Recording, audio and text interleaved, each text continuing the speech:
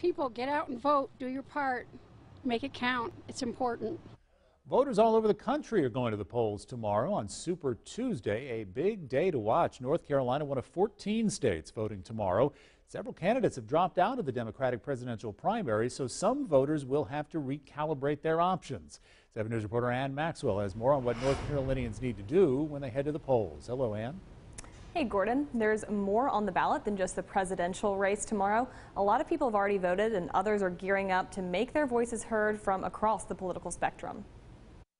In just a few hours, polls in North Carolina will open for Super Tuesday. The polls open at 6:30 in the morning and close at 7:30 tomorrow night. Voters will weigh in on more than the presidential election. There's multiple races on each ballot depending on which ballot that you're allowed to vote on.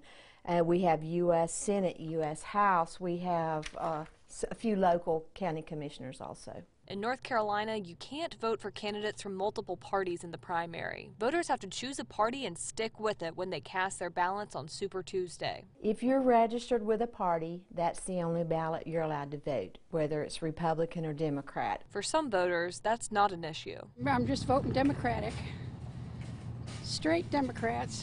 If you're an independent, you still have to choose a party, according to the Director of Elections in Henderson County. You can choose Republican, Democrat, or Libertarian. Those who choose to vote Democrat are looking at a narrower field. Tom Steyer, Pete Buttigieg, and Amy Klobuchar have dropped out of the race since the South Carolina primary on Saturday. I was leaning towards Buttigieg.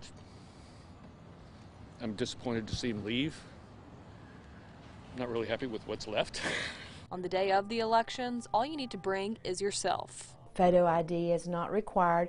You will just come in, state your name and address, and they'll give you an authorization to vote in your ballot. And we'll put a link on our website, WSPA.com, where you can find information on your precinct and polling location. From 7 on Main Ann Maxwell, 7 News. And thank you. The Director of Elections in Henderson County is reminding folks they can come to the county elections office. They say do not come to the county elections office. It is not a polling location.